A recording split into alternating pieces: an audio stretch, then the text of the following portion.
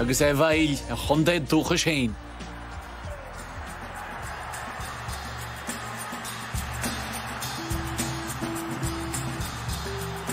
Certainly I would not have got back involved with the Cork setup in 2007 if I knew where I was going to lead to and the strife and trouble that I was going to cause.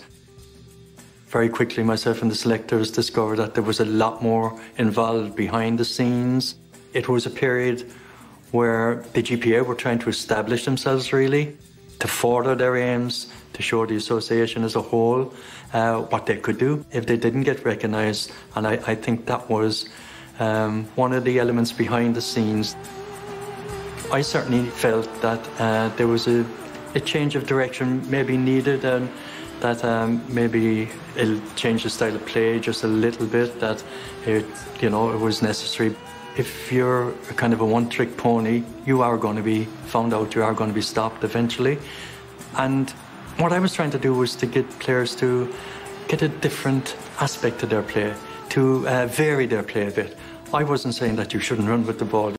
Running with the ball is a powerful part in hurling, but I certainly felt that we shouldn't be running with the ball every time we got it.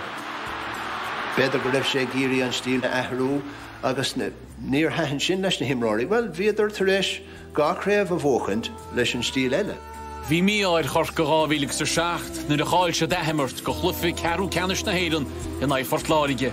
agus meas gan gan dástíl ás a deacabanis. It seemed to be walking a little bit, you know, and um, facing into 2008, we were happy enough that, you know, things were going in the right direction. Breaking ball comes out and squeezes it past Kieran Murphy. Harris Ben O'Connor. And that's a lovely point. Chodidir céim níos fuidir gáhíigh sa hocht ach bhí cilchoine róá rob sa glufi lechanis. Kilkenny stifled us. They produced the hurling, classy hurling when they needed to. They got the vital scores. They were a better team on the day, there was no doubt about that. It's Kilkenny who are en route to the All-Ireland final yet again. It was the end, really, of our reign at that stage. So I thank them for their effort and uh, wish them all the very best in the future.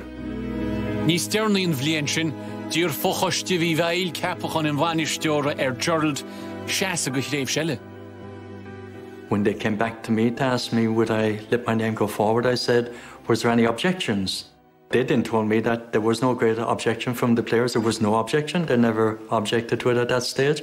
So when I heard that, I said, well, if that's the case, I'll let my name stand. Ach ní an na himdeir í sásta leis a brosis a cheapúáin, agus dúlta siad imirt frí Gerald mar bhainisteúir.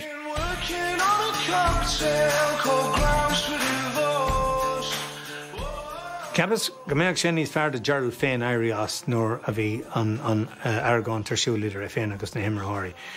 Mas rudi go mín na himrathirí iad a chuineh gaiitú airías. Tá airú take ar meán agus ar agne imrathirí agus tá síhád níos sere inis. Thíon duine eile agus na héochttaí go léir rinne sé ar er son an chlub agus ar son uh, an chunta. Ba ceart an na himráí i bhaid níos mó uh, measa a bheitcha ar er mar chuine, ní haháin mar bhainisteir. It was disgraceful that a man of such you know, ability, character, background, hurling, knowledge, you know, that he was very treated.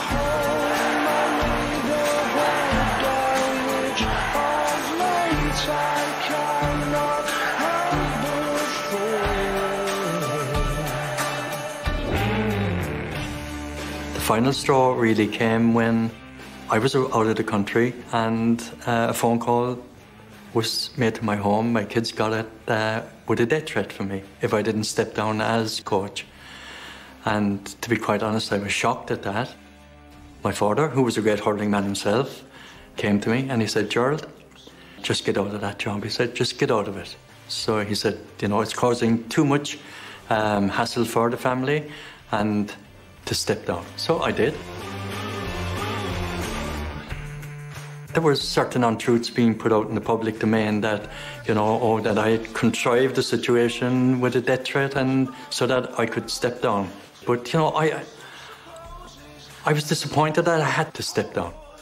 Hurling is too precious a game to have things like this happen to people involved in it. I, I don't think any holy man should have to put up with things like that.